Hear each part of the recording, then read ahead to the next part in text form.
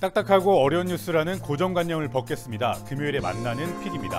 이번 주 준비한 소식은 탐나는전 일회용컵 기부입니다. 일시 중단됐던 제주 지역 화폐 탐나는전 카드와 모바일 앱 사용이 재개됐습니다. 다만 기존의 앱은 삭제하고 새로운 버전의 앱을 설치하셔야 사용이 가능합니다. 기존 카드는 그대로 사용이 가능한데요. 운영 대행사가 바뀌면서 이렇게 새로운 디자인의 선불 카드를 신청하고 이용하면 누구나 3,000원을 받을 수 있고 경품 이벤트까지 응모된다고 하니 참고하시면 좋을 것 같습니다. 두 번째 픽은 일회용 컵 보증금제 성적표입니다. 환경부가 한 달 동안 반환한 금액을 공개했는데요. 무려 2,939만 7,300원, 개수로는 97,991개입니다. 제주가 세종보다 대상업체가 두 배 정도 많은 것을 감안하면 제주에서는 6만 5,300여 개가 회수된 것으로 추정됩니다. 환경부는 회수율을 20에서 30%로 추정하고 있는데요. 조금 더 반납을 독려하기 위해서 보증금 300원에 현금으로 받을 수 있는 탄소 중립 포인트 200원씩을 추가로 제공한다고 합니다. 또 계속 지적되어 왔던 형평성 문제를 해결하기 위해 조례로 지역 내 보증금제 적용 대상을 조정할 수 있도록 제도를 개선할 계획이라고 합니다.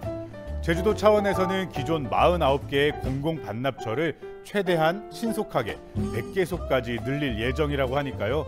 보증금제에 참여하시거나 개인 텀블러 챙겨 다니시면서 환경을 위한 작은 발걸음 함께 하시면 어떨까 싶습니다. 마지막 픽은 연초 기부 이야기로 이어가 보겠습니다. 원희룡 국토교통부 장관이 새해 첫날 자신의 SNS에 이런 게시물 올렸습니다. 새해 인사와 제주와 기부의 진심이라는 자기소개를 곁들였는데요. 전 제주도지사답게 셀프 홍보대사를 자처하며 실제로 제주에 기부까지 했습니다. 이 제도가 본인의 거주지에는 기부할 수 없다 보니 오영훈 지사는 전남 장성군에 기부를 했고요. 김한종 장성군수는 제주에 기부하며 화답하기도 했습니다. 제주 곳곳을 달리면서 쓰레기를 줍는 플로깅을 비롯한 다양한 봉사활동에 나서고 있는 러닝크루 제주 RC 청년들의 따뜻한 나눔도 있었습니다. 아직도 연탄을 사용하는 제주의 가정집 두 곳에 연탄 천장을 전달하며 추운 겨울 훈훈함을 더했습니다. 러닝크루 구성원들은 한겨울 구슬땀을 흘리며 기쁜 마음으로 봉사에 참여했다고 합니다. 새해 초지만 아직 추운 겨울인데요. 우리 주변의 어려운 이웃들을 위해 마음을 전하고 힘을 보태며 따뜻한 2023년 이어가면 좋을 것 같습니다.